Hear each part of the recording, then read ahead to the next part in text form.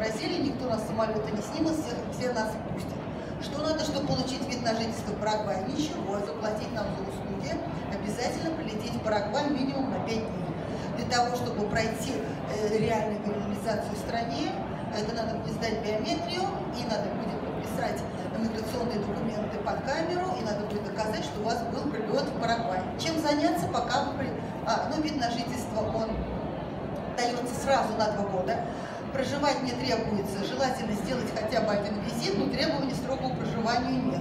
Через два года вы получаете ПМЖ Парагвая. Вот когда вы получаете ПМЖ Парагвай, они вас все-таки спросят, а какая у вас есть связь со страной? Там, ну хорошо, вы там счет за это время банковский открыли.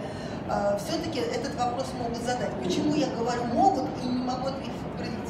Потому что сейчас мы работаем по получению вида на жительство Парагвая в рамках закона, который был принят в октябре прошлого года. И еще действительно никто не получал ПМЖ Парагвая по новому закону. Про ПМЖ я говорю так, как прописано в законе. Факт получения ПМЖ в этих домах обычный, называется у меня Алякпик, может быть, там прикупить, там строит обычная отделка.